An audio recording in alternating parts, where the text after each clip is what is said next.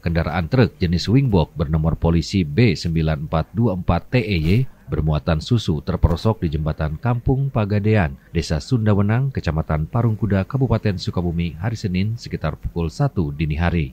Menurut warga, Evi Sopian mengatakan saat pulang dari pasar dirinya melaju tidak jauh berada di belakang truk wingbox tersebut dan secara tiba-tiba truk oleng menabrak jembatan dan terperosok dan jatuh ke dalam jembatan sedalam 8 meter. Saya kan dari belakang ya habis pulang dari pasar pak.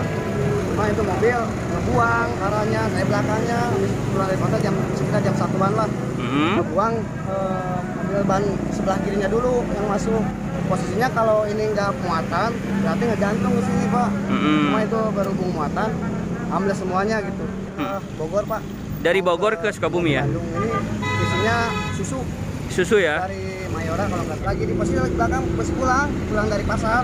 Oh dari belakang mobil ini Kang? Belakang mobil ini saya sempat bawa sayuran sempat berhenti di sini dulu nih Hmm. bentar karena kan posisinya lagi berat ya juga ada jalan Sementara itu, bagian depan truk hingga bodi ringsek tepat mengenai rel kereta api Bogor Sukabumi. Sedangkan menurut Chandra Triana, sang sopir mengaku truk yang dikendarainya membawa susu berangkat dari Cicurug menuju Bandung. Saat tiba di lokasi, roda belakang bagian kiri amblas oleng ke kiri hingga menabrak jembatan. Chandra sendiri mengaku sudah sering membawa truk melintas ke daerah tersebut, namun demikian baru kali ini terjadi kecelakaan.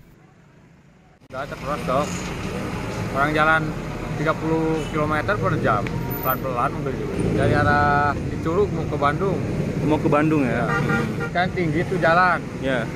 Ban yang belakang jatuh tuh. Mm-mm. Terus Jadi oleng. miring. Ya. Mm. Kayaknya Banting. iya.